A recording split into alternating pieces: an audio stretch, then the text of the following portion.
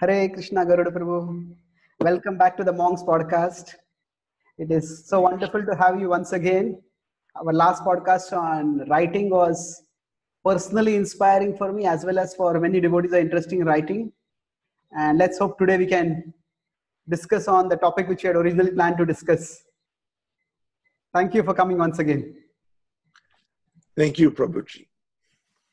So, you know, today uh, was thinking we could discuss on do does does love really exist in the material world? So, Yes. broadly speaking, you know, for most people, if we consider from a material perspective, they equate love with love in the material world itself. They don't have any idea of anything called spiritual love. And that's where we all were before, before we were introduced to bhakti.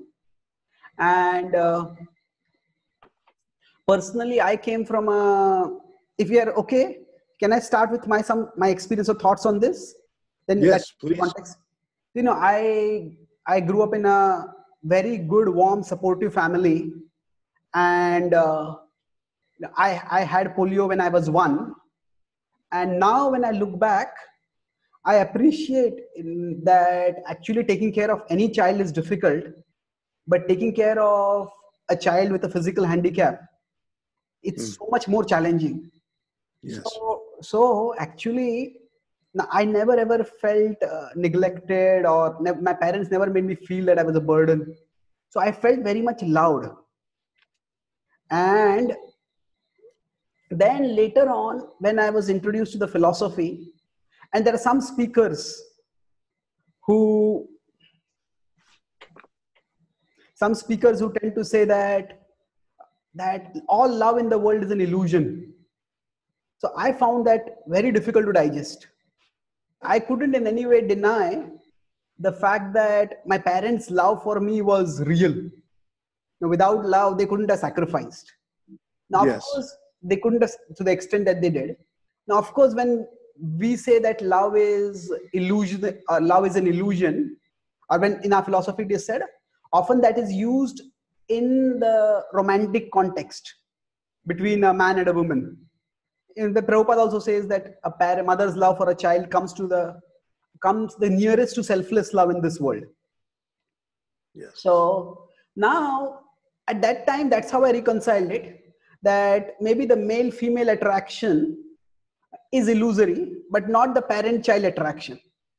Hmm. Now, but now I now as over the years have passed, and say my cousins, my brothers, they have children, and I think from their perspective, actually to love a child, the parents also need to love each other. Without that, they can't really take care of a child well. So we can't really say that if this love is re- this love is real and that love is illusory. Hmm, right. So, so I one of the scripture statement that helped me make sense of it is that in the fourth canto, when Dhruva is very is devastated by the by being insulted by his uh, mother stepmother, at that time Suniti tells her tells him that whatever love I can offer you, Lord Vishnu can offer you millions of times more love or Lord Vishnu can offer you more love than what millions of mothers like me can offer. So then I thought at that time that if her love for her child is, is illusion, it's zero, then millions of times of zero is also zero. so it can't be zero. In terms of quantity, this might be small and that might be huge. But now, just because it is small in compared to comparison to Krishna's love, now that is not small in our present experience. Because we have no experience of Krishna's love. And if we experience love in this world, for us that is real. And if such a such a small love appears so great for us, then how great could be Krishna's love? So that way, I feel that by appreciating love in this world, we can appreciate Krishna's love better. We don't have to Hmm. reject reject love in this world to appreciate Krishna's love. Hmm. So these are this is my current understanding when somebody asks me this question. But I would love to hear from you. You must have thought much more on this. um, your remarks are, I think, very insightful. Chaitanya Charanji, they're very insightful. Thank you. But the problem with your remarks is that most devotees, I don't think, understand what you understand. That would be my only criticism. the problem is that it's not what you've just said is not well understood by most devotees. Let me try to characterize what most devotees think. Yes, please. If uh, love, if, if I love Krishna, that is true love. But if I love in this world, if I love my child, if I love my parents, if I love my husband or my wife, if I love my cat or I love my dog, this is simply lust. Unfortunately, that is the conception that I find quite prevalent. Here's the problem. We could say, well, how does that occur? Why mm. is that the prevalent understanding?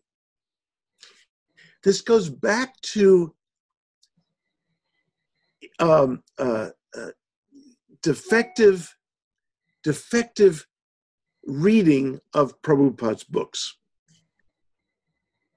Wow. And a, not, not only a defective reading, but a, a misunderstanding of the nature of Prabhupada's discourse. Two things. I think this needs elaboration. Both of these. Yes. yes, indeed, indeed. It's fascinating, Chaitanya Charanji, because first of all, we have to understand does Prabhupada come and when he speaks uh, in talks, uh, in lectures, morning walks, or when he writes, is he speaking in a completely systematic way? Is he speaking to um, in, in ways that are, um, uh, uh, you know, totally intellectually sound and logical and and uh, airtight, um, cogent, and so on. No, he's teaching with a teaching voice. He will use at times exaggeration. He will use at times hyperbole. He will use absolutisms. He'll state something in absolute language when in reality it is relative. Mm. He's very dramatic. Prabhupada is very dramatic. Yes. If I were to speak the way Prabhupada speaks in the academics, no one would publish my work. Really? Can you give some examples of? Well, okay. Well, the example is exactly what we're talking about. So, Prabhupada will say in places, there is no love in this world. Hmm. And in another place, he will state, love is ubiquitous. Love is everywhere. Look, even even the cats playing, little kittens playing together. There is love. Hmm. So first he is saying there is no love in this world. It's a very absolute statement. Then he says, but love is everywhere. Both appear to be a contradiction. Mm. To remain the same, to take those two statements together, they are contradictory. But what Prabhupada, what we what we need to understand is how to properly interpret Prabhupada's statements, to absorb Prabhupada's statements. Now, um, I'm going to be, I'm writing about this in, in, in, for a publication, but I'll briefly tell you that the Tamasa understanding of the statement, there's no love in this world, Tamasa Guna uh, influenced uh, interpretation would have us believe that that is the be all and end all. Hmm. As it's stated in the 18th chapter of the Gita, to yeah. take that one statement as the whole of our philosophy is tamas and guna. Yes, you know that somehow I feel that is one of the one of the very underused verses in the Gita. At 1822, yes. it's such a yes. profound verse. Yes, I'm referring exactly to that verse, Chaitanya Charanji. See, this is why I like talking with you. You know exactly what I'm speaking about. Wonderful, wonderful. Yes. And then, of course, if you take the, that statement, and by the way, this is typical of Kanishta, understand, Kanishta devotees, okay? Narrow minded, okay? Then, if a Madhyama comes along and understands that statement, but in light of other statements that Prabhupada makes, ah, then that's open minded. And now we have a better, fuller perspective of what Prabhupada is intending to say. Hmm. So, but then if we come along with uh, an uttama understanding, then we understand that one statement of Prabhupada's in light of the total philosophy. And that is when we can come to a really true and complete understanding. Now, it doesn't mean that we have to wait until we're Uttama Bhaktas mm. to understand what Prabhupada is saying. But we can achieve Uttama understanding by speaking to other devotees and coming together on the issue. This is a way to achieve Uttama understanding, to bring other devotees' broad minded understandings together and to achieve a kind of total sense of what Prabhupada is saying. Okay. So, Just what we want to do here, Chaitanya Charanji, yeah. is we want to, I want to try to present to you as much as possible, with your help, an Uttama understanding of what Prabhupada is saying. Yes, true. That will be wonderful. Just to clarify, the difference between yeah. Madhyama and Uttama, you are saying is Madhyama, we basically try to reconcile the two statements.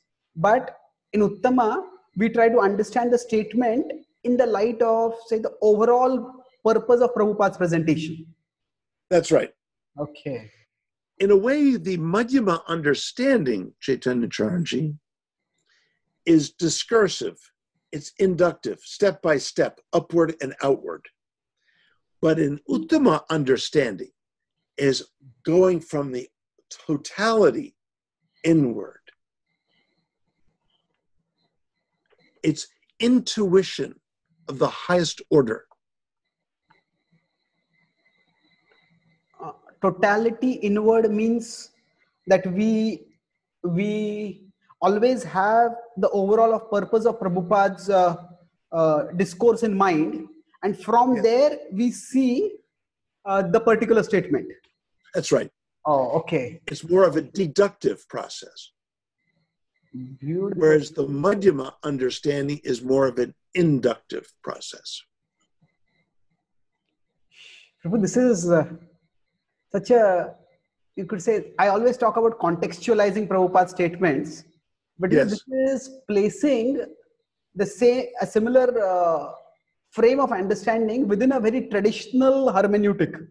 Like if you yes. look at Kanishta, Madhyama, Uttama, and then you look at inductive and deductive. Yes. These are terms which already devotees are familiar with. And yes. then then it becomes more comfortable. Otherwise, devotees feel yes. that you know you are importing some like even if you use the word we should study hermeneutics. Now Prabhupada never yes. used the word hermeneutics. So immediately some devotees start feeling suspicious. Are you bringing in some some mundane scholarship into Prabhupada's works? That's right. It's important that we use terminology. So yeah. this like now I know these words are common. Rupa Goswami uses them. Bhaktivinoda Thakur also uses them in slightly different sense in Chet, in Krishna Samhita. But this using Kanishta Madhyama Uttama for understanding Prabhupada's uh, message.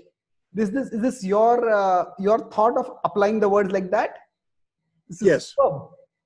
Yes, and tying it to those three verses to which you referred, Chaitanya Charanji, in the, in the Gita, 20 to 22 through 22. It's exactly the Gita's hermeneutic, if you will.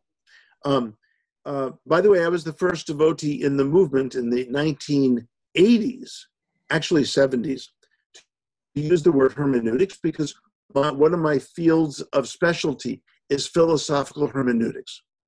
In oh. fact, I was um, uh, privileged to take from uh, a couple of the world's most famous thinkers in modern 20th century hermeneutics. Now, I don't I won't go into all of that and what that means exactly. But but here's the point. I wrote a paper for the most famous scholar in um, in philosophical hermeneutics at the University of Chicago. I had not yet gone to Harvard. This was before I went to Harvard, but University of Chicago, and he hermeneutics he thought the only issue, the only way that hermeneutics ever developed in the world was through biblical hermeneutics, which is the way it originally did in the West. Hmm. I wrote a paper showing Paul Ricoeur that, in fact, in Mimamsa, hermeneutics is anticipated thousands of years earlier. He was blown away by the paper and he gave me an A. Amazing. Is that paper there on your website or anywhere online? The paper is not available. Of course, you know, throughout my graduate study, the question, I have a stack of papers that I've written that go larger than the screen. Oh, okay. so you don't want to read all my graduate papers. However, all of all my graduate papers. However, all of this brought to bring a greater and deeper appreciation of Prabhupada's discourse, form of discourse. Hmm. This is the important thing. So when we try to understand something, the Prabhupada says, we can either be narrow minded, open minded, or broad minded. Kanishta, Madhyama, Uttama. And in fact, when we talk to people on the outside of the movement, we also find whether they are rece- different levels of receptivity. Very narrow level of receptivity, open levels of receptivity, and broad levels of receptivity. Okay, now so interestingly, yeah. So you are differentiating between open-minded and broad-minded.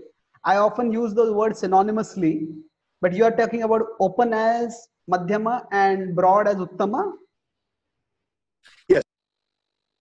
Yes, because Prabhupada uses the word broad-minded for Mahatma, and he's referring to uttama. Okay. Whereas open-minded is more of the spirit of a madhyama um, mind and heart. Okay. Whereas Kanishta is very insecure. Kanishta is like a little child.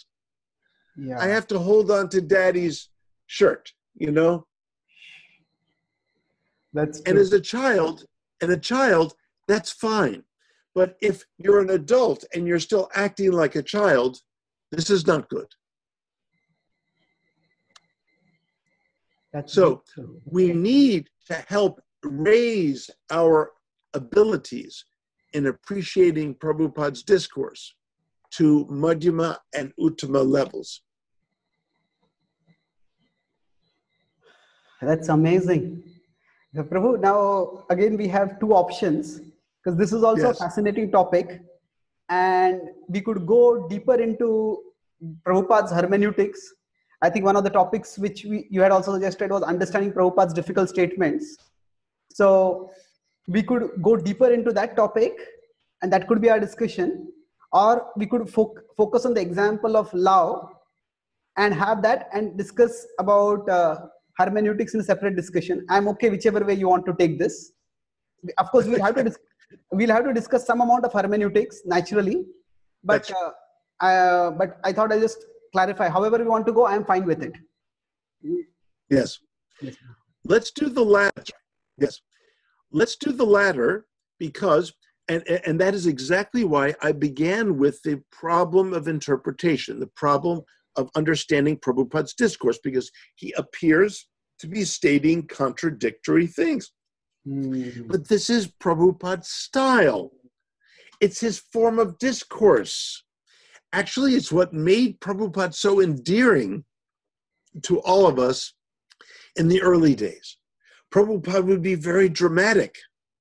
Sometimes he would make very extreme statements. Prabhupada, you know, said, We never went to the moon. And then other times Prabhupada said, Well, you may have physically gone to the moon, but you couldn't see what was on the moon because you are limited with your sense. So he, he may adjust statements, he may contradict statements. So it forces us, if we are mature teachers of Krishna Bhakti, it forces us, these so called contradictions and apparent paradoxes, these force us to come to an Uttama vision of the philosophy. Otherwise, we are teaching things incorrectly. One of those things is there is no love in this world. Now, I can tell you, I, I once was speaking with a leading devotee in the movie. One minute, sorry. before you- Very leading, very, Sorry, Prabhu, if I'm okay. You mentioned that this is what makes Prabhupada more endearing. Now, I would say that maybe it makes it more problematic to understand Prabhupada. How does it become more Yes. endearing? So, can you explain that? Or yes, it- yeah. Yes. Okay. good. No, I'm, I'm, I'm glad you, you stopped me there. It, when, when, when we were with Prabhupada, he was, his energy was intense. And he came, we, we knew we were in the presence of the ambassador from the Chaitanya Parivar, you know, from the, the Chaitanya lineage, the Guru Parampara. He was this ambassador for the world to Hmm. present Chaitanya Krishna Bhakti. I mean, the presence of such a person overshadowed his extreme dramatic statements that could appear contradictory. If someone else had said his statements, again, they would not have been accepted. Why were they accepted from Prabhupada? They were accepted from Prabhupada because, precisely because, we all felt and experienced Prabhupada as an ambassador effectively from the spiritual world. That is how he could get away with making seemingly uh, counterintuitive statements like, there's no love in this world. Hmm. And you know, if I keep pressing that with you, Chaitanya Charanji, you're going to say, "No, well, Garuda. The, I mean, I felt love from my parents. They loved me so much. They they took care of me, even with my disability." And I said, "No, no, Chaitanya Charan. Prabhupada says there's no love in this world. What you are experiencing was lust." but that's, counterintuitive. That's true. You see? Right. So, so this is the issue. If we are narrow-minded, Kanishta interpreters of what Prabhupada is saying, we will be ultimately misrepresenting Prabhupada because we have to put Prabhupada together. This is the challenge of every devotee: how to put together all of these diverse, uh, uh, uh, widely, um, uh, you know, sometimes contradicting statements. Um, uh, uh, how do we understand Prabhupada? This is not a task for everybody because this is very difficult. So, leaders in the movement and leading devotees who are capable of writing Bhashya, Bhashya, we are a Bhashya tradition. We, we must interpret what Prabhupada has been saying. In effect, we have to translate Prabhupada. I know that sounds awkward. Prabhupada was translating the sacred texts and bringing them, bringing them here and commenting on them. But we, in effect, have to translate Prabhupada for the current public. So, just one question about Yes. that. So, when you said that uh, all of you saw because you're in Prabhupada's presence, so his uh, some of his extreme statements, did you see them more like ornaments of his personality and not so much as to be always taken literally everything? Was that like a implicit understanding you had? I mean, Something like that. Something like that. This was part of Prabhupada's dramatic presentation of the philosophy. He wanted to drive certain things home. yes. But the fact of the matter, Chaitanya Charanji, the Mm. fact of the matter is that there is love in this world. In fact, Prabhupada says love can start at a dormant stage. He talks about the dormant love in everyone's heart. And he talks about how there is love among um, uh, all living beings. He talks about, um, uh, he, he says in the Nectar of Devotion, the preface, he says the basic principle of the living condition is that we have a general propensity to love someone. Yes. He says that no one can live without no one can live without loving someone. Right here, Prabhupada is saying this. Yes. This propensity is present in every living being. Mm. Okay? And then talking about children and parents, the, the next paragraph, he talks about i- in the primary stage of a child, uh, uh, uh, in primary stage, a child loves his parents, then his brothers and sisters. And as he daily grows up, he begins to love his family, society, community, country, nation, or even the whole human society. But the loving propensity is not satisfied even by loving all human society. That loving propensity remains imperfectly fulfilled until we know who is the Supreme Lord. Beautiful, beautifully put, right? And here's the idea that it's not that there's no love in this world, love is everywhere, it's ubiquitous. Is it perfected love? No. Is it the fullest love that we can have? No. So we learn to love Krishna so we can love better, so we can love more and more fully. You know what I tell my university students? I tell them that we come into this world as infants expecting mother's love. Without mother's love, without love, at that beginning stage of life, human beings die. They literally die, not of lack of nutrition. They can be perfectly nourished food wise, but if they don't feel loved, they will die.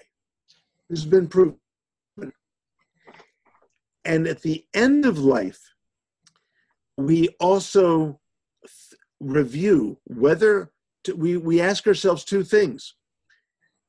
But before I get to that, throughout life, we have either felt loved or we didn't.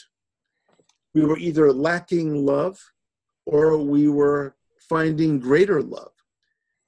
The human beings die slowly if they are not loved, if they do not, if they are not nourished with love. We live on love. Love comes originally from Krishna, as we know. The Hladini Shakti, the Hladini Shakti, the Hladini Shakti, coming from the attribute of Krishna as Ananda. So, as you as you well know, now, so all love comes from Krishna, but love can be mixed. It can be mixed with our conditioning. It can be mixed with our you know cultural milieus and, and, and, and all kinds of influences. Love can be mixed. And the idea is to develop pure love. But what I ask my students or what I tell my students, is that at the end of life, when one is on one's deathbed, there are two questions that you're going to ask yourselves. I warn my students, my 20 year old, you know, university students, you're going to ask yourself, have I loved much and have I loved well? Quantity and quality. Beautiful. See, Chaitanya Charan, I can make billions of dollars on one's deathbed. It doesn't make a bit of difference. In life, if those billions of dollars have distracted us from loving connections with others, it is a useless achievement. Mm. So, have I loved much and have I loved well? You know, Well, of course, refers to purely, purely. Yeah. sorry. You know, this is is bringing up two distinct responses within me, and at one level, it is so touching and so authentically true. But uh, maybe there is a part of me which is saying, know, this is completely mundane.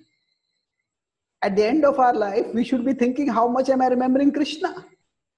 Not Yes. uh, how much I have loved people. In fact, uh, uh, okay, I'll give one experience and now I'll try to con- contextualize it. There was uh, maybe about 10 15 years ago, one of our brahmachari, his uh, mother, she got cancer and she came and stayed in the temple. And uh, the, her son, brahmachari's son, served her very well during the last days, and she was very grateful for helping her in the uh, end of the journey. But then, at the when she was about to depart, at that time, and no offense to anyone, her whole family had become initiated. She had become her husband also initiated. So her husband told her that I will not be there with you at the last moment. Because if I am here, you will think of me instead of thinking of Krishna. And then he walked away from her. And at that time, I had thought that, oh, this is so much uh, realization and detachment. But recently I reread it and I thought, you know, was that the best thing to do? so now I don't want to criticize anyone, but it's just that I can maybe say that I, either I have changed a little bit in my understandings and I'm realizing that I have changed. But what you said earlier about devotees thinking that love in the world is false. So I can see that that conception is still there within me. And a part of it is popping up. So Yes. could you you want to comment anything on how to reconcile or something? Yes. Beautiful. Yeah.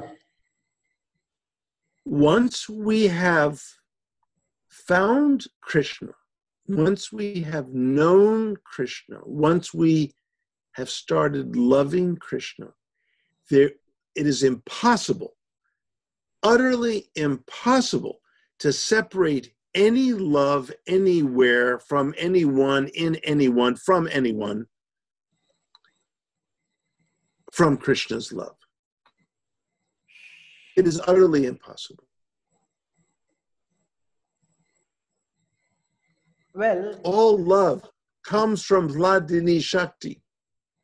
All love is a manifestation of Krishna.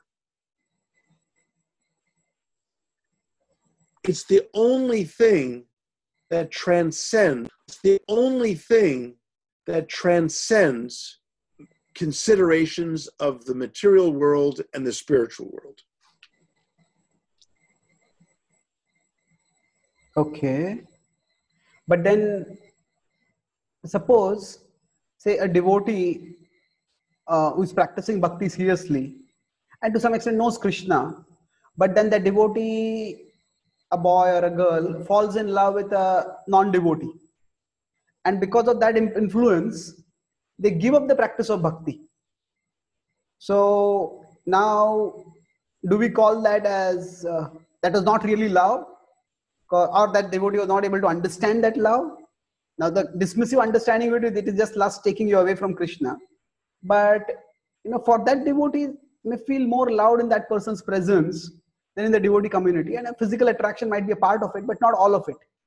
So when you say that all love no love can be separated from krishna but some love can actually separate us from krishna isn't it? Well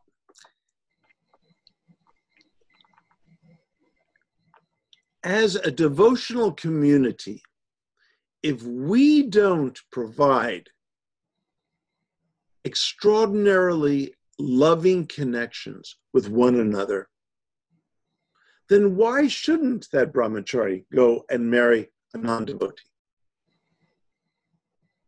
In other words, we thrive on love. And if we can't exhibit that loving connection and that love from Krishna with each other, then what is the point of anyone coming to the ISKCON movement and living life within it? That brahmachari who went off with that woman, there was love there, but there could also be conditioning and needs, and this is where lust comes in. Okay. Do I love you, Chaitanya Charan, uh, because I need you. That's lust. But do I need you because I love you? That's love. Wow.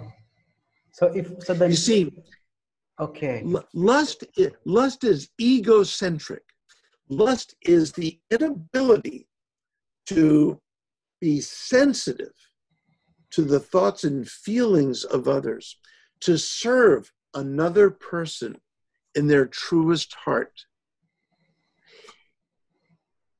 If I love someone, but I'm only thinking about my own needs and how the other person can fulfill my needs, then it, it is lust. But if love is pure, then it is in itself its own reward. This is exactly what Krishna says to the Vraja Gopikas in the fourth chapter of the Rasa Panchadhyayi. He, you remember, he says, yeah. I don't know that I could even reciprocate your love for me. May your love be, may the purity of your love be its own reward. Love is its own reward, not whether someone returns uh, or reciprocates the love or not. The love itself is the reward, the purity of love. Now, this is a, such a inclusive understanding so you said that if my need comes before the care for the other person then that is lust. But if correct. my, if my i care for the other person or other i care for the other person and in order to care for that person i need them. So that's right. then it's it's love. So that's right. so you could say this is a more expansive understanding of that chaitanya charitamrita verse which yes. talks about the difference between kama and krodha. That is specifically referring to Krishna. Yeah. But karma, kama and prema. Yeah. Atmendriya, Atmendriya priti icha. At Krishnendriya, Krishnendriya priti icha dhare prema nam. Atmendriya priti vancha. Bole, uh, something like bole kam. That it is wanting right. to satisfy one's senses versus wanting to satisfy Krishna's senses. That's right. So you are generalizing it from Krishna to everyone else. And, and whatever relationship we have, if we want to care for that person, or we want that person to gratify us, that's the difference. Yes. And, and again, we've got to go back to the narrow minded, open minded, and broad minded of understanding Krishna's presence. Narrow minded means Krishna's in a spiritual world, he's too busy for everyone. We're just supposed to surrender, purify, and go back to the spiritual world, and hopefully Krishna will accept us. That's Kanishta. Madhyama is Can you repeat? Sorry. wow. Yeah. So so Kanishta is Yeah. Kani- Kanishta is only seeing Krishna to world, barely even recognizing Radha. But you know, only, only Krishna, you know, I'm only going to love Krishna. It's the only true love. Okay. Madhyama, Madhyama understands, my gosh, look at that. There is so much love between Radha and Krishna. Every temple I walk into, I see Radha and Krishna standing next to each other. There is love there. And look, they're inviting us to their love. They're gazing outwardly at us. They're inviting us to their love. That's a more Madhyama position. An Uttama position is I see Radha and Krishna calling me through the hearts of everyone, everywhere. That's how an Uttama Bhakta can see everyone else as a Bhakta. It's not just, see, normally when we talk about Uttama, it is we see that they are all parts of Krishna, but you are taking it deeper Yes. that Radha and Krishna are calling us through everyone. That's Yes. amazing. So Yes. I think this is this Kanishta Madhyama Uttama, it opens up so many avenues for deeper discourse. This, Yes. this could be the foundation of a theology of love for our movement. We really don't have, Yes. you could say, a theology for love as of now. That's right. Hmm. There are layers, layers of understanding what Srila Prabhupada has given us. So we as teachers, Chaitanya Charanji, we have to elevate the understanding. And you and I, together, as well as other teachers, we have to come together and elevate our understanding to the Uttama vision. Beautiful. So, Prabhu, just going back to the earlier point, let's say, say that that devotee gets attracted to a non-devotee and stops practicing bhakti. So now it's at one level, rather than calling that devotee as uh, lusty, it is rather we as a community need to take responsibility that maybe we didn't offer sufficient love and support, and that's why that person went away, went elsewhere. Yes. In fact, in fact, I knew such a devotee that left the movement and um, got involved in trying to get a wife, and um, and I said, uh, I will never reject him. If I have love for him, why would I reject him? Here's the problem: too often, Chaitanya Charanji, we love devotees only insofar as they are obsequiously obedient and submissive to the movement. Chaitanya. Charanji, you, your only value to me is how much you are submissive to the GBC. And until, and when at that moment, that day, when you say, I'm no longer submissive to the GBC and I leave the movement, then I reject you. Your only value to me is the way you are an instrument of institutional doctrine and authority. I don't love you for who you are. That's, in a way, that's a very finely disguised form of lust. My God, you're inverting the whole hierarchy now. Exactly. Our God. our Krishna bhakti is only based on pure love. And that doesn't mean that the institution becomes the ultimate object of that love. Rather, the institution is supposed to be facilitating the love between you and me. Beautiful. So, Not that I judge you, that you're only valued by me. You're only loved by me, so called loved by me, insofar as you are a, a kind of um, representative, maybe even an automaton, a robot of ISKCON doctrine and dogma. That's No, no. Now, I love you for who you are. And whether you're in the movement, out of the movement, whatever, just with that devotee I was speaking about, I stuck with him. I stayed in touch with him for 30 years. And then he returned to bhakti practice. beautiful. I never stopped connecting with him. Okay, this is amazing. But I just had a similar experience recently, and I'll raise one philosophical point after that. There's one devotee with whom I was doing quite a good amount of preaching, and then they got involved in a relationship with a non-devotee, and then the devotee was quite a prominent and active devotee, and he was reproached so heavily. You're a lusty, you're lusty, and this and that. So that devotee made a very telling comment. He says that you know, he says ISKCON is only a movement for devotees. It is not a movement for human beings.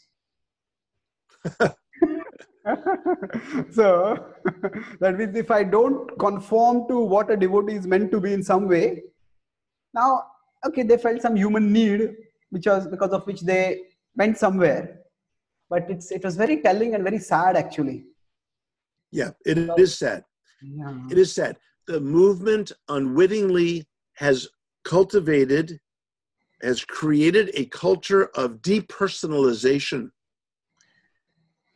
Um, and I dare say that if Arjuna himself were a member of ISKCON and went through all the problems he went through, he might have been kicked out.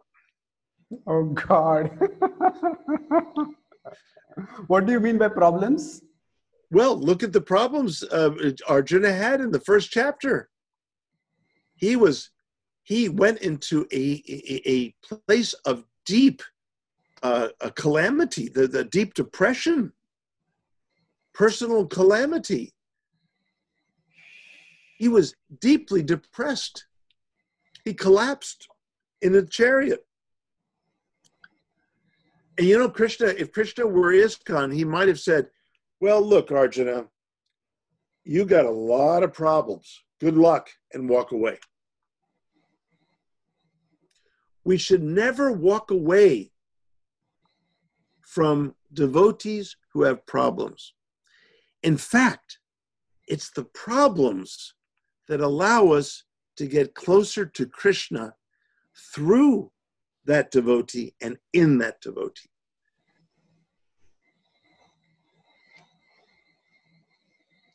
There's a lot to process here. So, so now, Hey, hey, look, hey, you you called me Chaitanya Charanji. Uh, you know, I mean, you know, this is your fault if it's too much to process. I'm just I'm just playing with you right now. yeah, yeah I understand.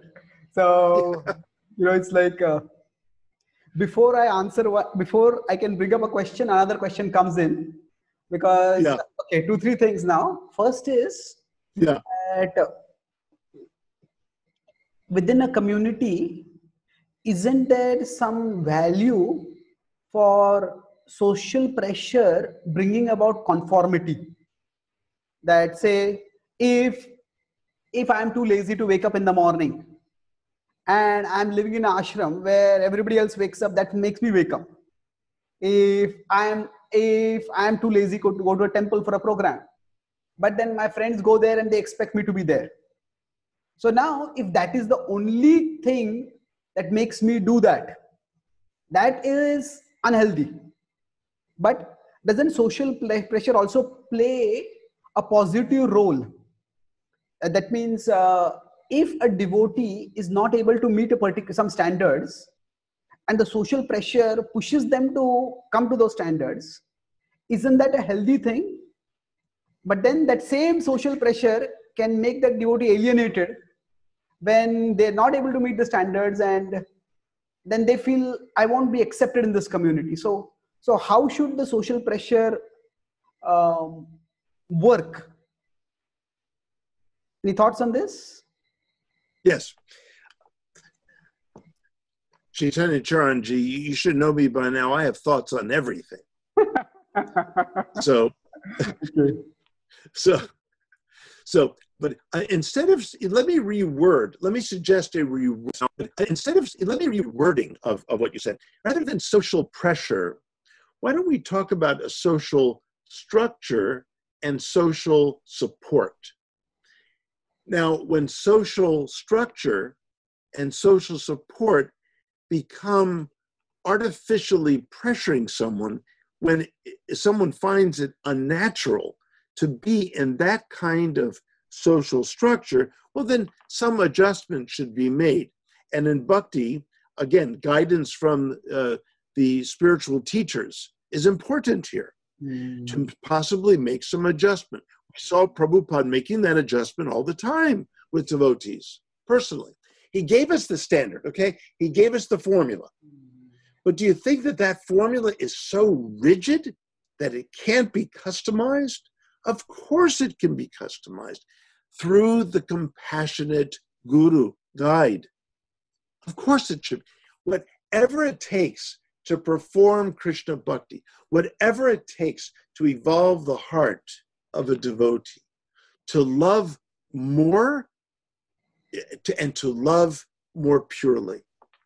This is our process. Beautiful. Beautiful. Yes. This this is our process. Now, it's good to have the structure, but we have the structure to break the structure.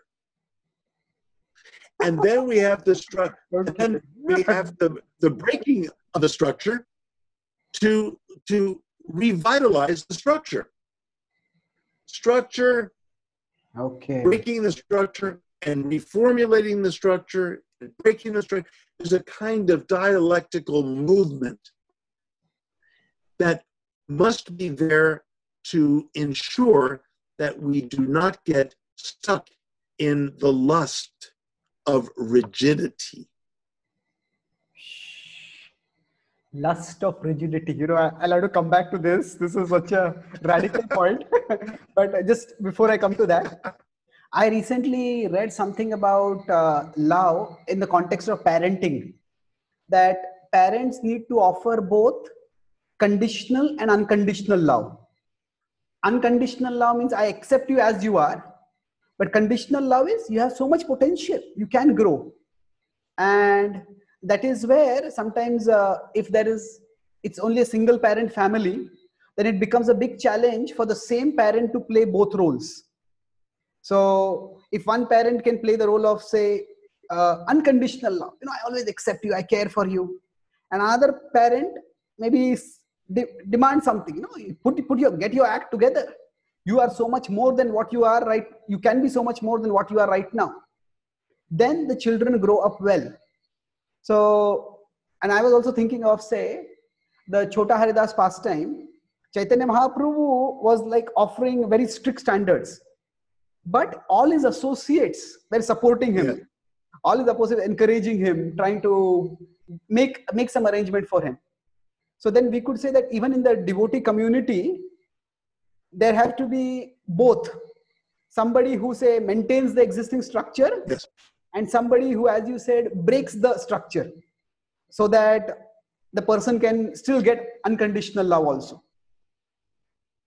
You put it that way? It- okay. Um, we have to be careful of the phrase unconditional love, um, as long as we define it. Now, we are conditioned beings. Okay. The only unconditioned okay, yeah, being is Krishna. Now, when we as con- when a conditioned being loves an unconditioned being, one can then develop something of unconditional love. Okay. Then one can bring that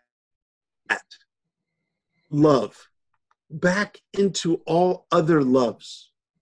And this is why devoting oneself to Krishna and Radha and Krishna's love, devoting ourselves to their love, can actually make our loves here more complete, more selfless, more ahaituki apratihata.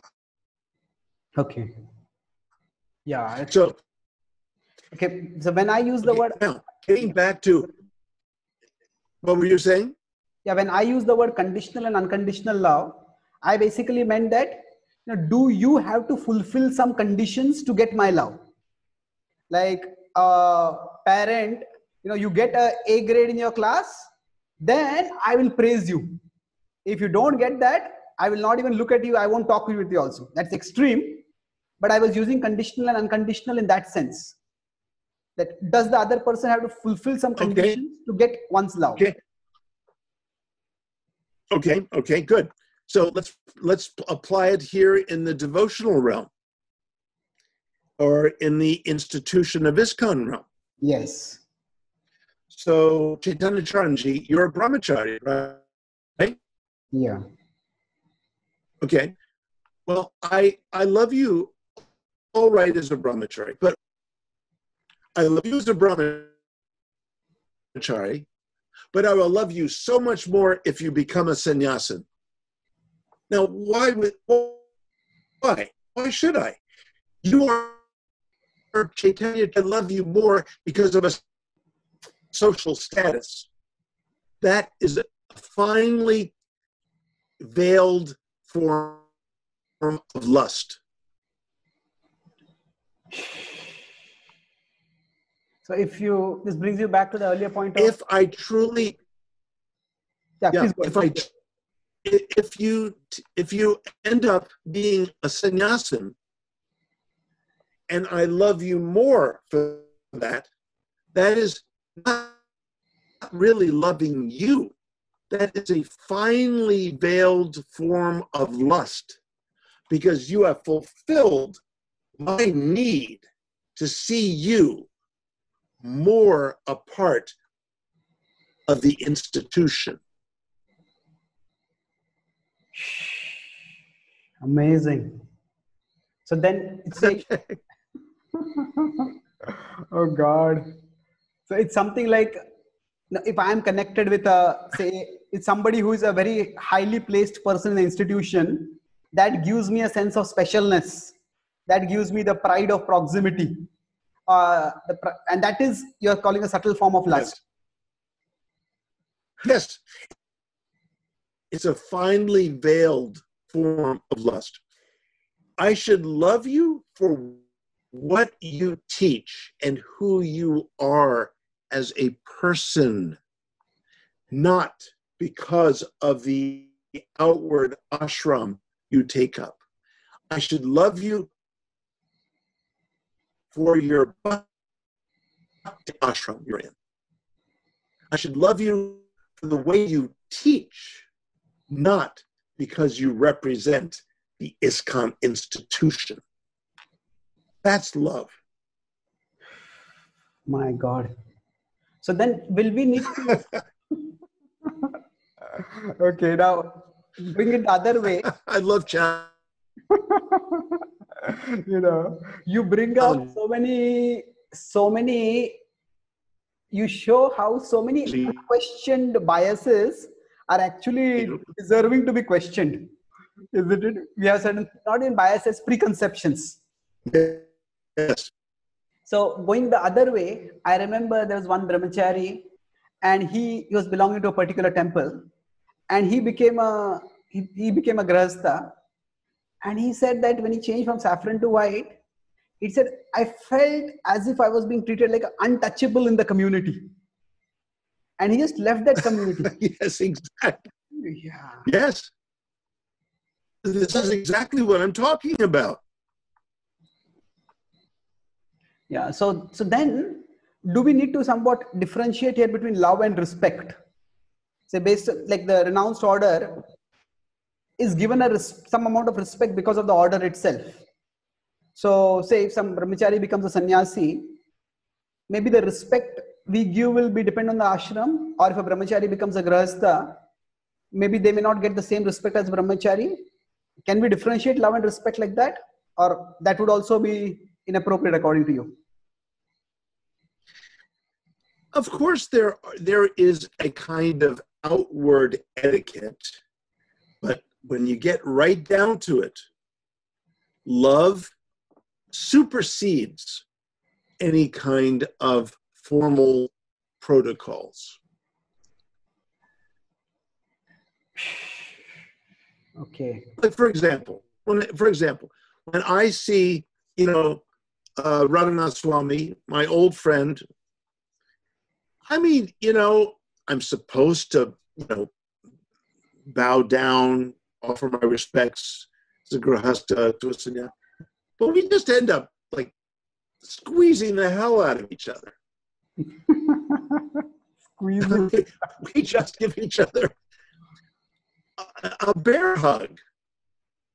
Okay. And then I might think to, you know, offer my respects. And, and you know, we both get down and offer respects. But the immediate, the immediate emotion Amazing. is to, to, to, love. Yeah, that's that's why we're here, Chaitanya Charanji. We're here as a culture of loving relations. This is what we're about. Now, if we fall short of that, well, then there are reasons for that. We need to examine those. And usually it has to do with lust. Even within, we think that the ISKCON, just by doing everything according to formulaic Krishna Bhakti and ISKCON, we think that we're, we are immune from lust that being an ISKCON member is a vaccine against the coronavirus of lust. Yeah. So, but it is not. It is not. It's a virus. Lust is a virus that can go anywhere and everywhere. so, so now, you know, I earlier said I'll come to that point about lust. Your very broad definition. Say if this is a devotee and the devotee gets into a relationship with a non-devotee. This is a this is a devotee, and they get into a relationship with a non-devotee, and that compromises their bhakti practices. And uh, Yes. this is their authority, and that authority comes down heavily on them for uh, for their whatever their lust or whatever. Then normally what we would think is that devotee getting attracted to the non-devotee is lust but what you are saying is that this authority is coming down disproportionately on that person could also be lust the lust for controlling Yes. the other person and making sure that they conform Yes. Yes, yes. In fact, exactly. You you put it well, Chaitanya Charanji. If if I have such a need for them to conform, that's lust. Instead, if I can practice loving acceptance of where they are, which gets back to what you said earlier, if I can first exercise total acceptance, that's that is the humility of my love for you, for me to accept you for who you are eh, with all your weaknesses and all your strengths. To the extent that I can accept you and appreciate you and understand you for who you are, it is to that extent, commensurately, that I will be able to contribute to your strengthening and elevation. But if I cannot accept you for who you are, look, let's just say you started um, uh, taking uh, cocaine, okay okay? Hmm. Krishna forbid, but let's, uh, you know, that's of course a very severe addiction and illness. But let's just say that happened to you. Would I love you less? I will tell you right now, Chaitanya Charan, I would not. I would come to you and I would say, Chaitanya Charanji, what happened? help me understand why you are where you are. Let me understand. Let me support you. Tell me why and how it was that you started taking cocaine. I don't come in there immediately trying to fix you, but rather I try to understand what happened. What happened to you, Chaitanya Charanji? Let me lovingly understand. To the extent that I lovingly understand why you took cocaine, how it was that you took cocaine, what pressures you were under, why you're trying to numb yourself, it is to that extent that I will be able to help you. But if I come in there and say, Chaitanya Charanji, you're in a lot of Maya, shame on you. You, should, you have left the, the lotus feet of your spiritual master. You're a disgrace to ISKCON. Shape up. That is finely veiled lust. Because I have not been I have not been working from a place of love and understanding and the humility of understanding. If I don't, then that is lust.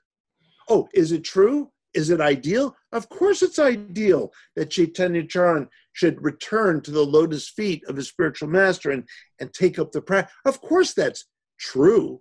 But if I use that as, as a kind of lusty entrance into our relationship at a point where you are at a very low place, this is lust. I can just think of so many devotees whose spiritual lives would have been so much less troublesome or less painful if they had met someone with this kind of understanding. So, yes.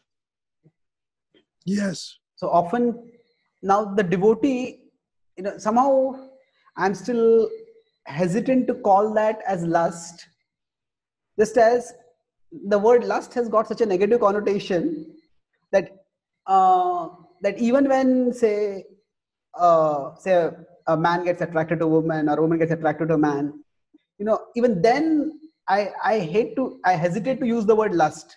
It may be a part of it but it's a very reductionistic term for what is a what is could be much more than what we use that.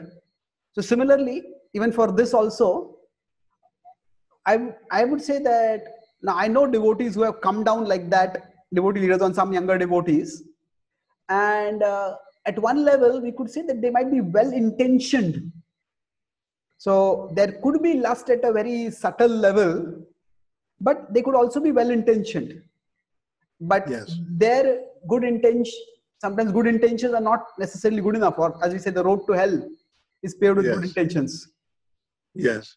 So so lust could be one component of it rather than all of it. Just as in yes. the male female relationship similarly in the authority subordinate relationship. There could be one part of genuine concern there could be another part of the, the desire to control. How can a devotee who i have trained behave like this? So i am concerned not just for that devotee i am concerned for my image also. What will people think yes. me Yes. Yeah. Yeah. I mean, that's true. I mean, as as a as a teacher and as um uh, you know, having a handful of disciples, I am concerned about whether or not they represent me well or not so well. Mm. Oh, look, I mean, I mean, part of this is is healthy, but part of it can be unhealthy. I mean, even in the in the in the uh, phenomenal world out there, I mean, I spent all those years at Harvard. Okay, two master's degrees and a doctorate from Harvard. Well, I had finished my dissertation, and my advisor, my doctoral mentor, said, "I think you need to stay here one more year." I thought I was finished. He said, I think you need to stay one more year. Hmm. Harvard doesn't want to let anyone leave unless they feel they have completely they're completely capable of representing Harvard level scholarship. Well, I mean, you know, okay. So in the same way, I, I will admit that there's a careful balance. On the one hand, I want my students to represent my teachings properly and not misrepresent me. But on the other hand, I also have to respect that they are at certain levels of immaturity and levels of growth that through which they must go. So I can't impose it so heavily because that would be lust. Mm. And then to not impose anything or not to expect anything would be not lust, but would be, you know, uh, uh, uh, too lax, maybe too, too lazy. Yeah, maybe it could be a responsibility also. Yes. Yeah. See, you know, the, so, Harvard example is very striking because at one level, after you after somebody graduates, then they represent Harvard much more. if they then if they are just students, even as students they represent. Right. But when they if they're graduates, they represent much more. That's right. So often within our movement, we don't have very clearly that kind of progression. So it's yes. almost like every devotee is expected to follow a particular standard and which is good at one level but uh, there that there could be gradations and uh, different devotees at different levels can be expected to have different levels of standards. Yes well i mean look once a, a very distressed bhaktin called me up and said she had just attended, this was years ago, just attended 26 Second Avenue, a lecture by a sannyasin hmm. coming through. And of the 45 minutes he was lecturing, he devoted 30 minutes, 30 minutes to condemning homosex Is that what the seat of Vyasa is for? No. If I had been there, boy, is he lucky I was not there.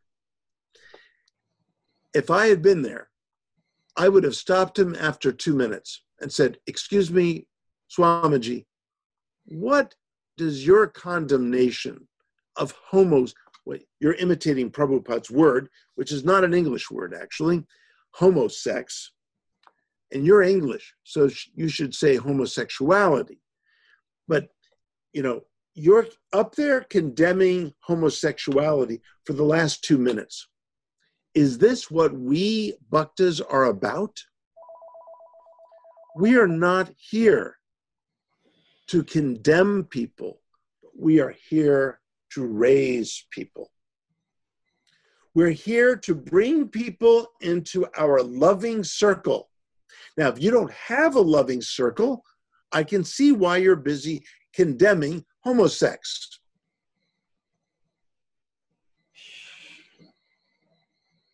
Anyway, he's very fortunate. He's very fortunate, Chaitanya Charan, that I was not in the audience because I don't tolerate this kind of thing. My God. And this is a I think homosexuality is itself a big subject, but since you brought it up, so again, we could say that uh, we all have, we may, our standard movement has certain standards, and actually, even how those standards are to be applied in this context, it's also not, is we are also not clear about it right now. Are different devotees are different, uh, different understandings but more importantly your point independent of specifically of homosexuality is that you know, if we start condemning then we are not representing vyasa. Hmm? can you hear me exactly. Exactly. Now, i had heard something opposite of this that the very purpose of the vyasasan is to condemn the current forms of illusion that take people away from Vyasa's teachings. now of course you could say that we could say that whether homosexuality takes people away from krishna but okay. some people do have this idea that condemning the current brands of illusion is what we are meant to do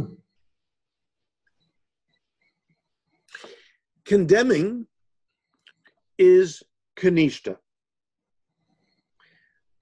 Mm-hmm. understanding how people get distracted by the worldly forces and are moving away from their own true hearts is madhyama. And uttama is how to see the big picture of how ultimately everyone is a loving servant of Krishna. Now, the question we must ask is uh, as teachers, when we sit on the seat of Vyasa, do we want to be merely condemning people? Does that inspire people? Or do we show how we understand how people could be caught up in the phenomenal world, but how they could ultimately be brought back? Which is better? That's beautiful. This is Kanishta Madhyama Uttama. So now, again, going back to our Prabhupada hermeneutics question, we could say that yes. there are times when Prabhupada is condemnatory, maybe, and that's what sometimes comes out quite strongly in his writings. But yes. Prabhupada in his personal dealings yes. was never condemnatory, practically never. He was very, very understanding. In fact, his personal servant, I believe his name was Nanda Kumar, I believe it's in the letters where Nanda Kumar said, Srila Prabhupada, I'm married. I, I'm not meant to be married to a woman. I'm just not.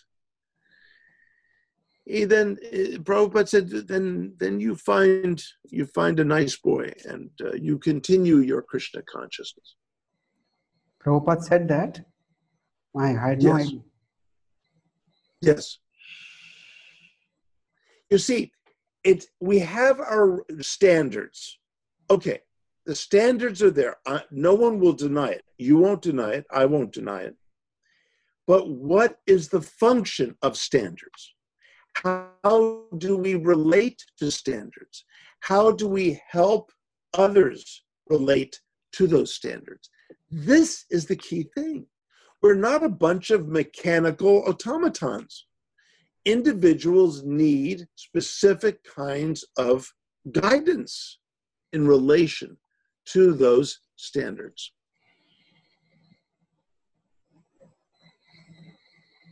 Beautiful. Not mechanical automatons, but we need individualized guidance. Yeah. Yes. I remember I was thinking that now I, I was reading a little bit about how cults are formed. I was reading about how such young educated people go into fanatical organizations like I like the Islamic states and other things. So then I read one person his narrative and he said that you know I was so happy because now I don't have to think about anything. I just have to follow and I'll be delivered. Then I remembered one time one devotee also. He said, I asked him what attracted you Krishna consciousness. He said, It made my life so simple. I don't have to do anything except obey my authorities. Well, then I correlated. Maybe in the first few years it is good, but if we have a very yeah right, if we have a oversimplified understanding of Krishna consciousness, then we may think of Krishna consciousness as simply like ticking a list of bullet points. And if anybody is not ticking those points, then they are wrong. Exactly. But there's so much more to Krishna consciousness than that. Yes, yes. Actually, Krishna consciousness is made for human beings, not merely devotees. Yeah, so true. You're taking it back to the earlier statement by that yeah. yeah, that's so, right. Mm, that's true. So now just going back to this point again of mechanical automatons versus uh, versus uh, individualized guidance. So the moment we have an institution, and especially as that institution becomes bigger and bigger, then just because of the size of the institution, sometimes there is a greater likelihood of the mechanization rather than the individualized interactions. So that's right. So that means even if we belong to a bigger movement, as in, individually, we devotees need to cultivate our relationships rather than ex- just belonging to a big community. We need to develop our deeper relationships. That is exactly right. Yeah. The institution, the purpose of the institution is to facilitate loving connections between devotees. Period. Part of that is also whatever relationship that happens to be, whether it's a, a husband and wife, whether it's been parents and children, whether it's a community and community leaders, devotional leaders, whether it's a, a, uh, a brahmachari, a grahasta, a vachari, or, or, or a sannyasin, whatever. It, doesn't matter. Those designations are secondary, totally, only have something to do with Krishna bhakti insofar as each of these ashrams and then the varnas also, in terms of how they facilitate bhakti. Bhakti is always the primary focus, and everything else is merely tethered to it. Beautiful.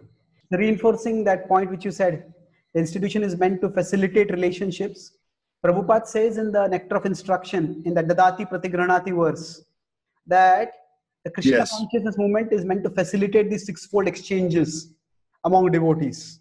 That's right. No, no, what right. there's something deeper actually. He says the Krishna consciousness movement is nourished by these sixfold exchanges among devotees. So he's saying yes. not just that the movement is facilitating, but the movement's nourishment depends on these exchanges. Yes. Yes. It has it happens right here. For example, right here between you and me, Chaitanya Charanji. Hmm. This this nourishment, going deeper with the philosophy, going deeper in appreciating one another for one for each other's understandings of the philosophy and and practice. And this it, it the nucleus, the nucleus relationship within Krishna Bhakti is one devotee's heart in relation to another devotee's heart.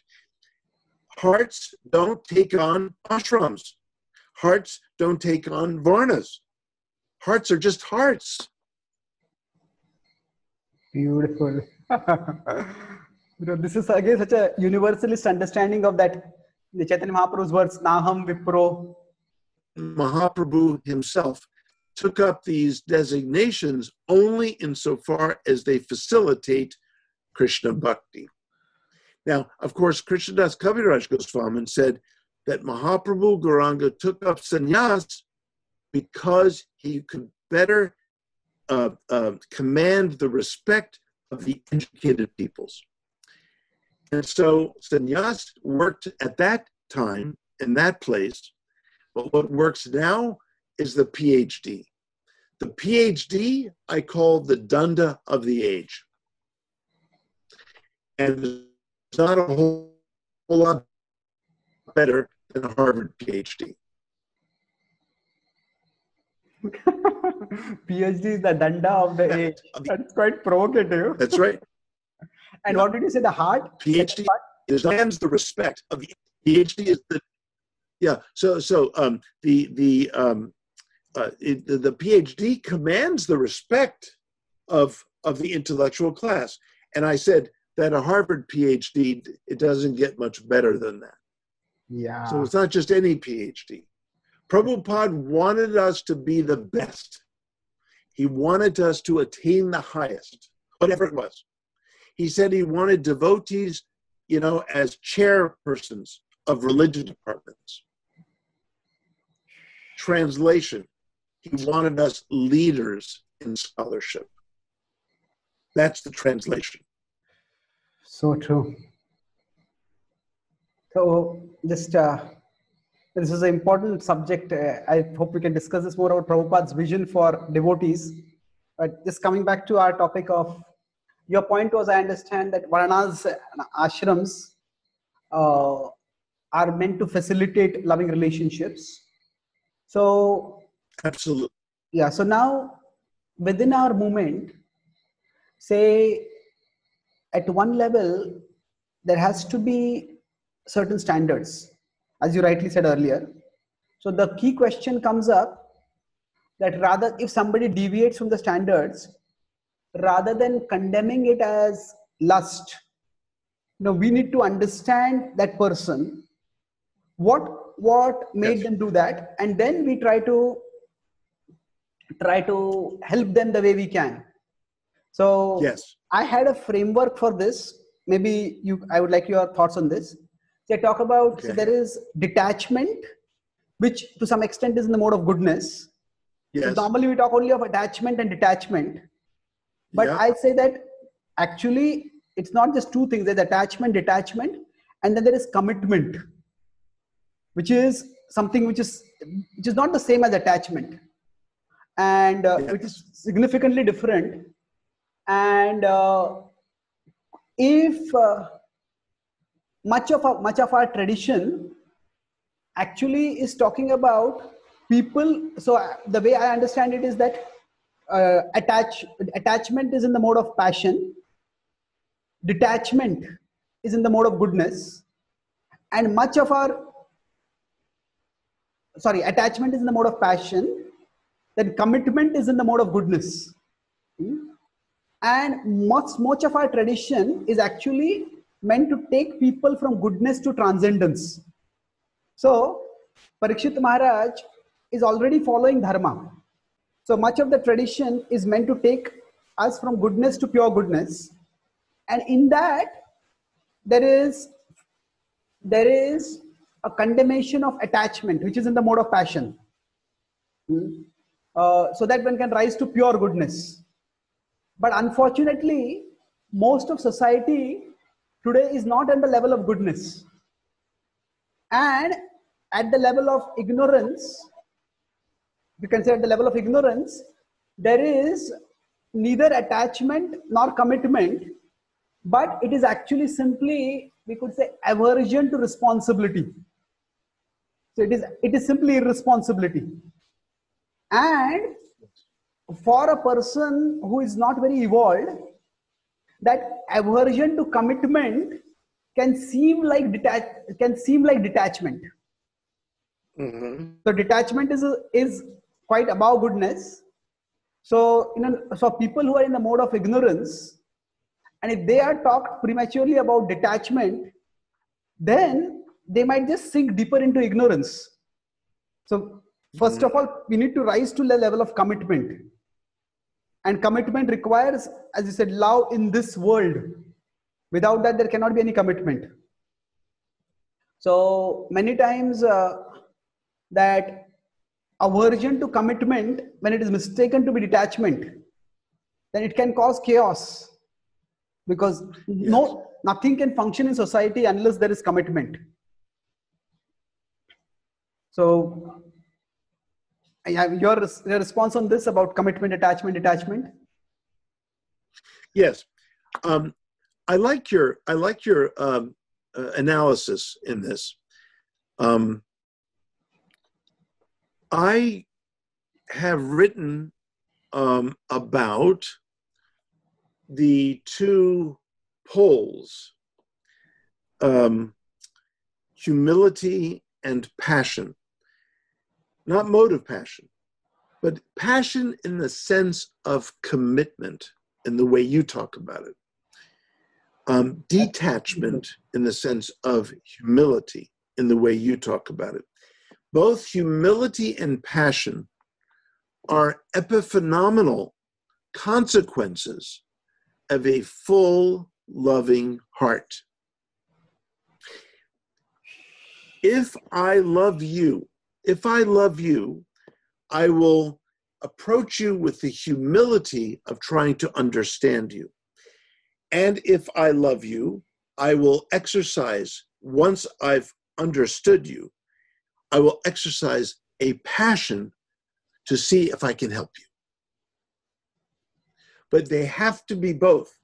Too often in the movement, we exalt humility as if it is a quality by itself.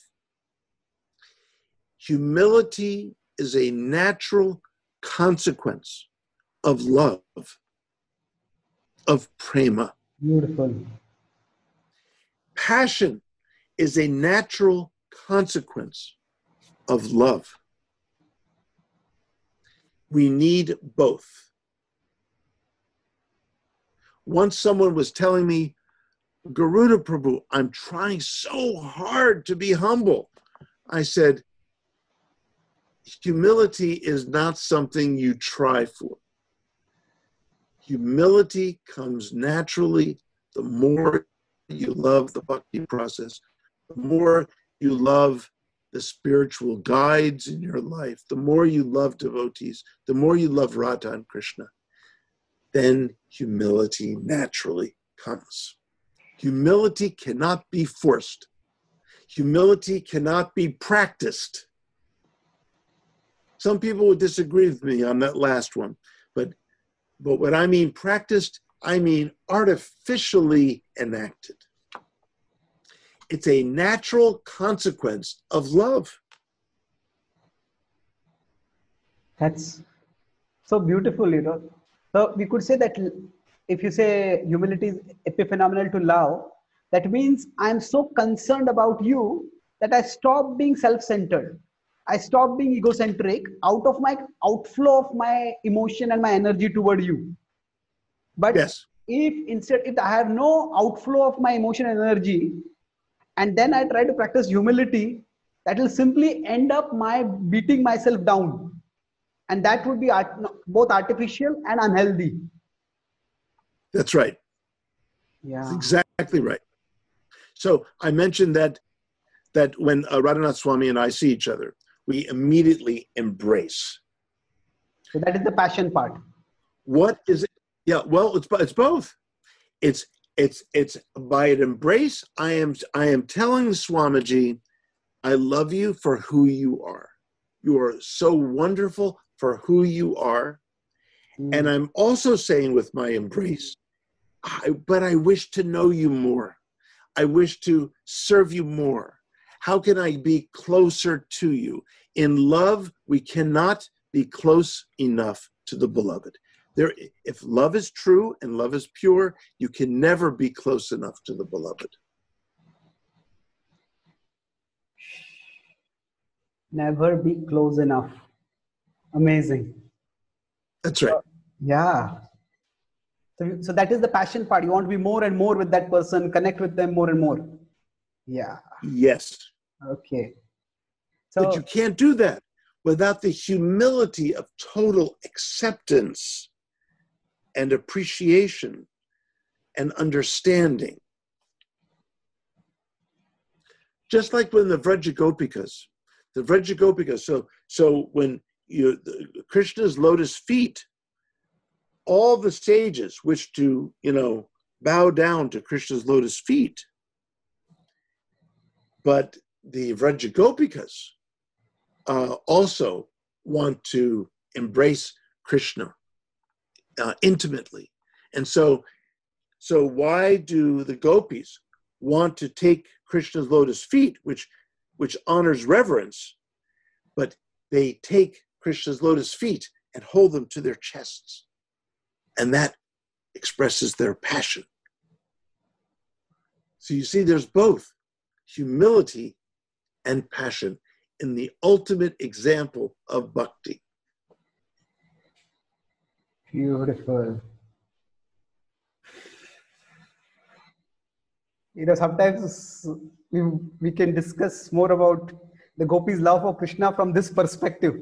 Otherwise, sometimes we consider it to be so exalted as to be almost untouchable. Not yes, untouchable in a, in a divine sense. And That's then right.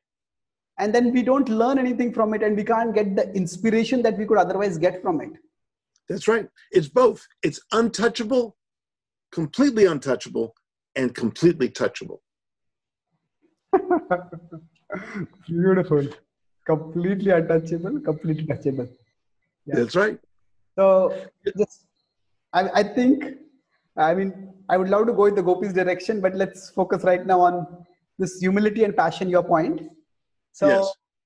so say going back to the earlier example of this devotee, authority who came back on the devotee who who got deviated from some standards.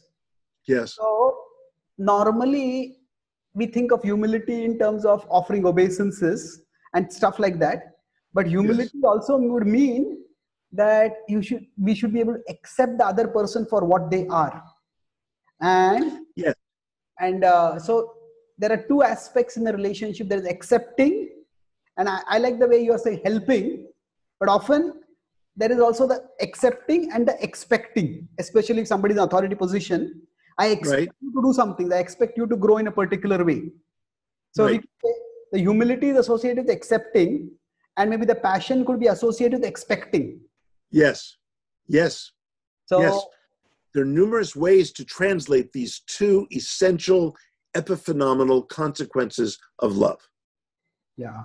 And if only say if only if there is only expecting, then that will not feel like love.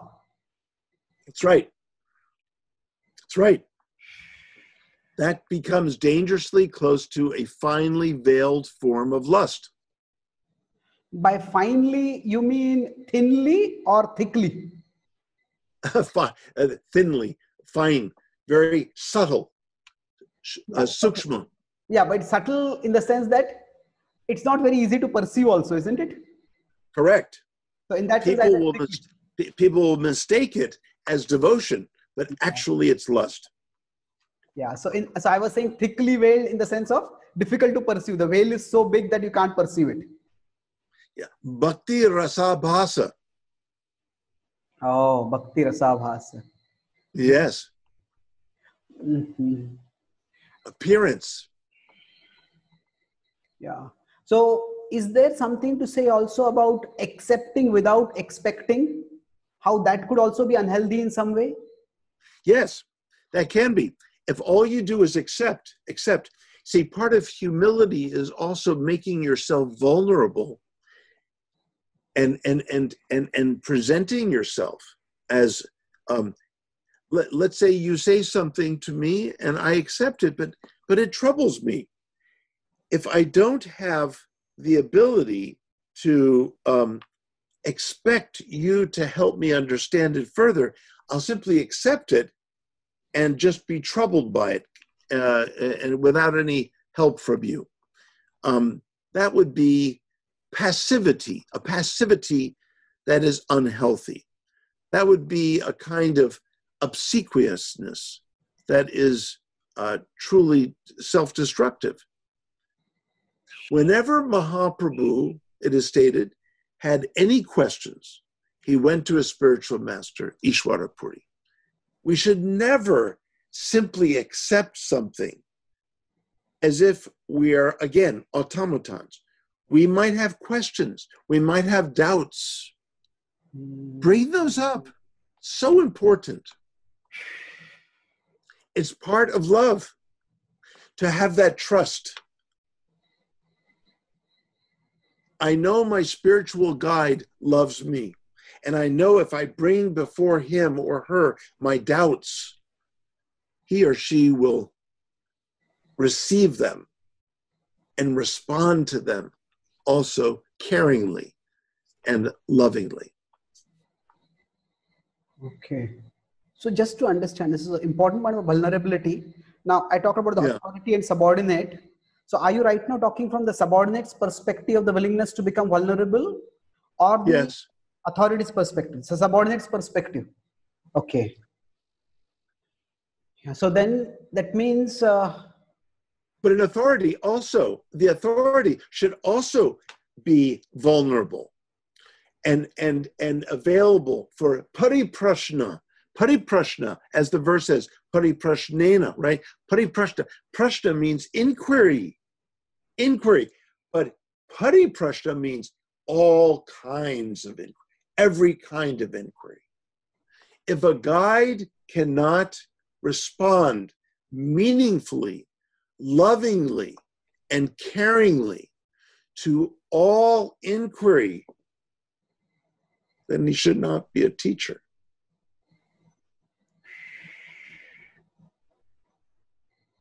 I never thought of the difference between pariprashna and prashna.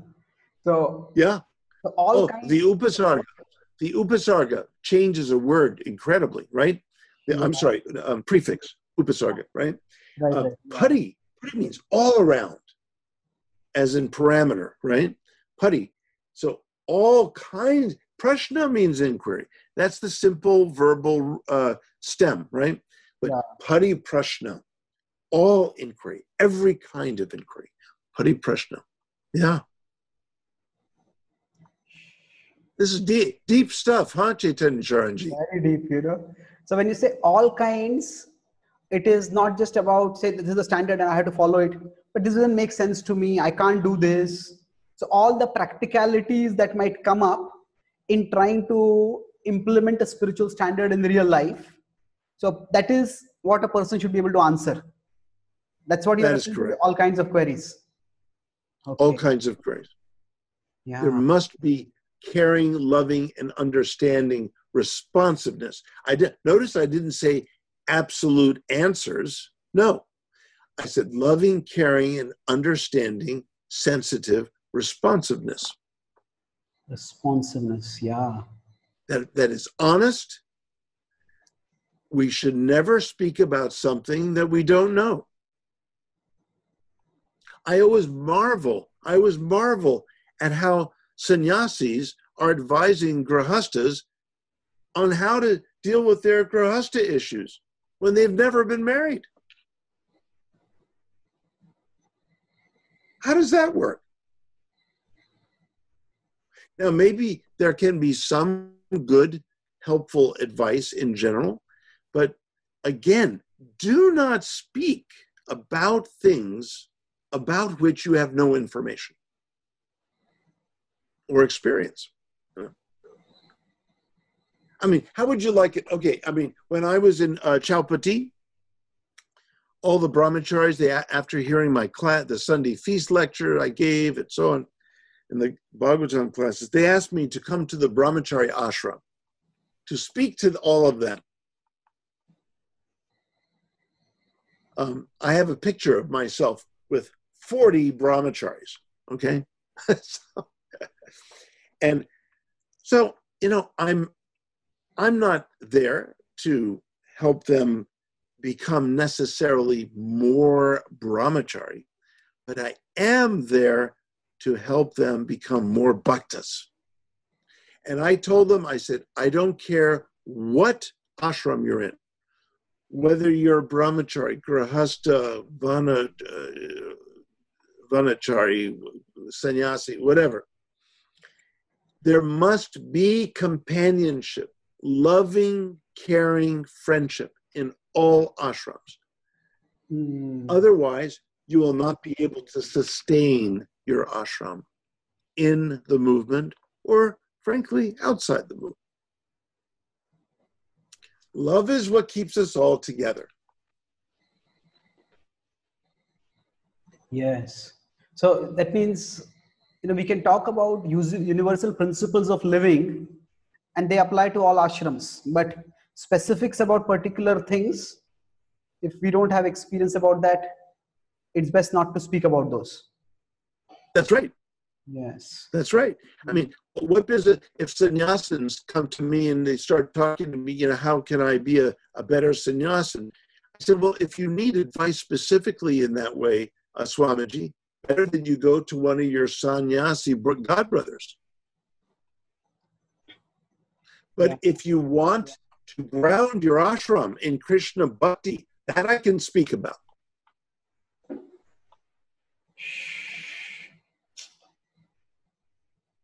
part of good teaching is to be very, very honest about what it is that you realize and what it is that you do not realize, and to respond.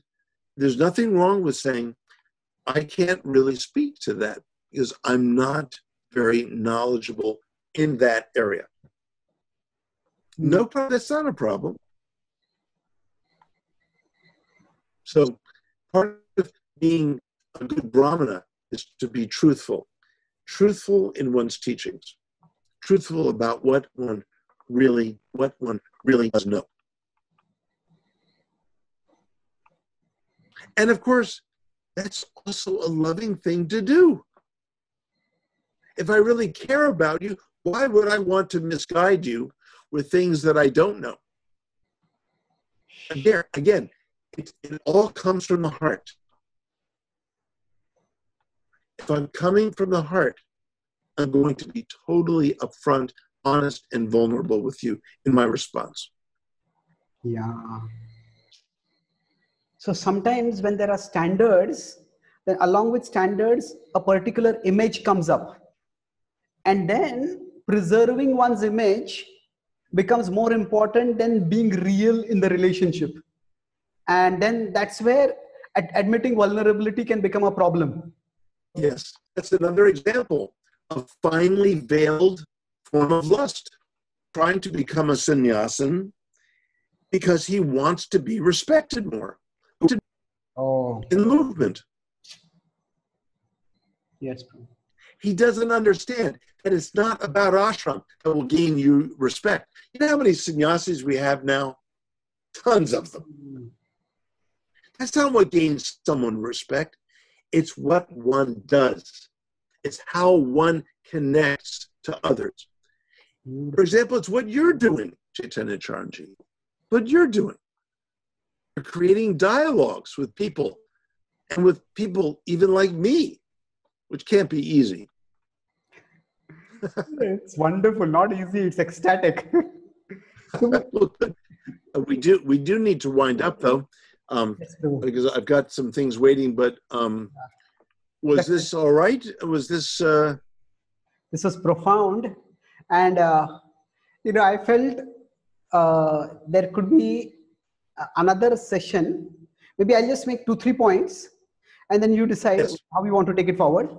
How, how much time? Yes. Five minutes, ten minutes, fifteen minutes. I will five. five minutes. Okay. So then, then uh, so, Prabhu, maybe I'll just summarize and you can put a concluding point and then we can go forward in future discussions. Surely. So, we discussed today if there's love in the material world. And I shared about my experience of my, my parents' love. And you said that in one sense it's obvious that there's love. But why is there the understanding there's no love?